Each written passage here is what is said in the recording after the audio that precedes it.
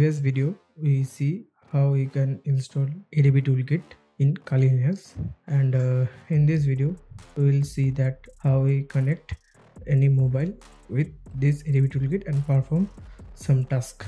So for this test we are using Samsung F23 Android 13 uh, model. So are, uh, I'm connected with my virtual machine. Hit enter. Again hit enter.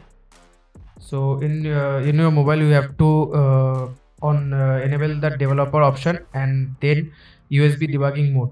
After that when you uh, connect it to your computer it says allow USB debugging allow it. So let's check it again. Yes. My device uh, device is connected right now.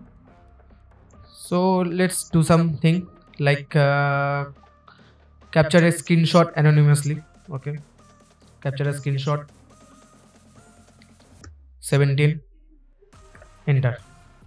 Taking screenshot. Okay. Now what is happening? It taking screenshot and pulling screenshot from mobile to my pc after that it deleting screenshot from mobile. Okay. How cool is that man? So let's check. Screenshot is here. Okay. Let you can see. The screenshot is here. 329 and sorry my clock is going too fast.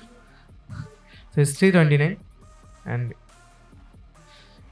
again if you um, so again we can see a different screenshot like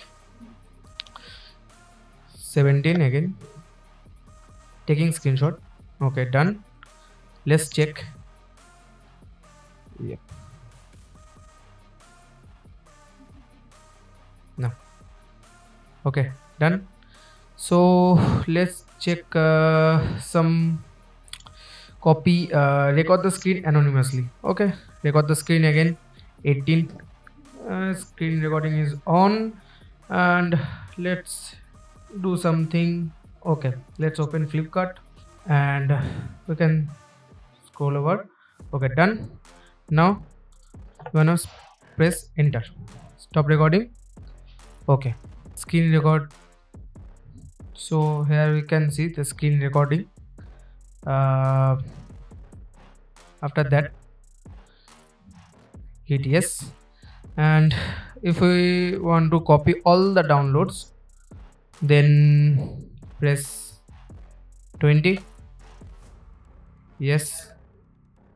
Downloads are copied. We can see the device full.